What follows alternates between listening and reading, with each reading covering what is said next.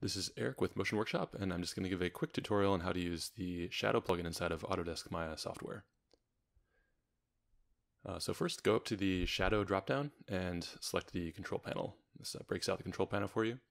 Then go into the Preview tab and click on Start Preview.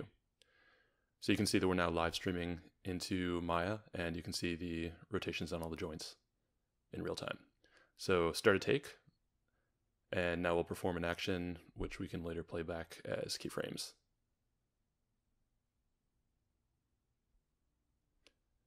All right, so stop the take and go to the import tab. Now import the take.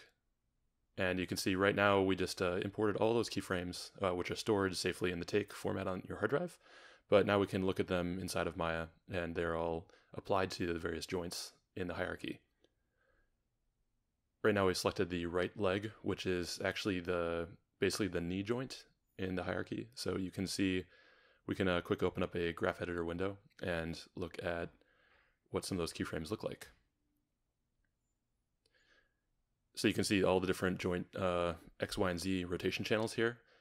Uh, we can narrow it down and look at the rotate X channel. Uh, so you can see where the knee is bending here, you can see the, the large rotation in that channel. And you can do this for any of the channels. They're all stored and uh, play them back, use them however you want to inside of Maya. All right, thanks for watching.